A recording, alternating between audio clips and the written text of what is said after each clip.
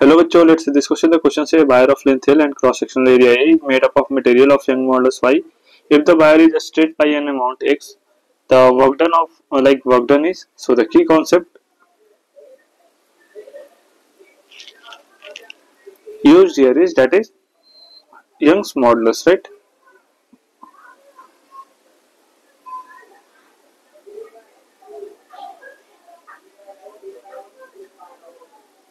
We know जो Young's modulus का formula था होता है that is Y equal to F by A right upon delta L upon L ये क्या होता है? चेंज इन लेंथ होता है है ना?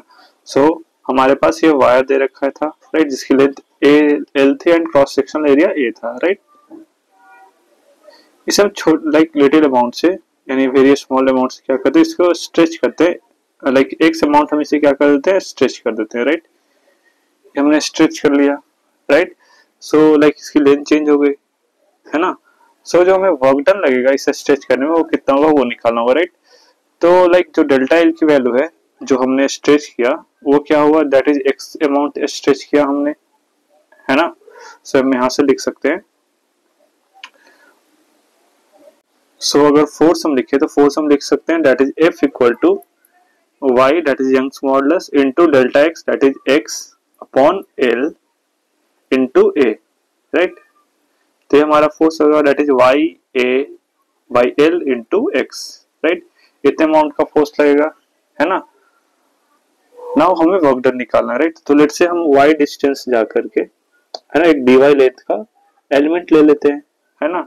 तो अब जो चेंज ऑफ़ लेंथ हो जाएगा, क्या हो जाएगा? वाई हो जाएगा, है ना? क्योंकि यहाँ से यहाँ वाई चेंज हुआ है एंड ये डीवाई लेंथ है। तो हम वर्क डन लिख सकते हैं डब्ल्यू इक्वल टू जो यहाँ पे फोर्स लगेगा लाइक like इस इस पॉइंट ऑफ़ लाइक इस पॉइंट पे जो फोर्स लग रहा होगा that is Y A by L into like Y है ना?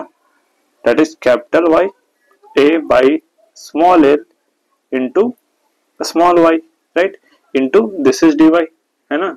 इस एलिमेंट का नाम हमने डी वाई लिखा लाइक ये डी वाई एलिमेंट हमने uh, काटा है तो ये हमारा हो जाएगा इंटू डी वाई राइट हम इसे इंटरोगेट कर देंगे। लाइक y की वैल्यू कहाँ से लाइक स्ट्रेच हमने यहाँ से किया है, यहाँ तक राइट तो इस पॉइंट को अगर हम ज़ीरो लेते हैं तो ये पॉइंट हमारा क्या हो जाएगा? कैपिटल एक्स हो जाएगा। तो हम इसे लाइक सिंपली इंटरोगेट कर देंगे ज़ीरो से कैपिटल एक्स तक right so this comes out to be capital Y A by small L right Y square by two right and इसकी लिमिट ज़ीरो से एक्स हम पुट कर देंगे। तो हमारे पास जो वैल्यू आ जाएगी वाई की दैट इज़ वर्क डन की वैल्यू जो आएगी that is equal to Uh, w equal to y a y l into x square by 2 right? So the, our final answer that is y a x square capital x square upon 2 l right?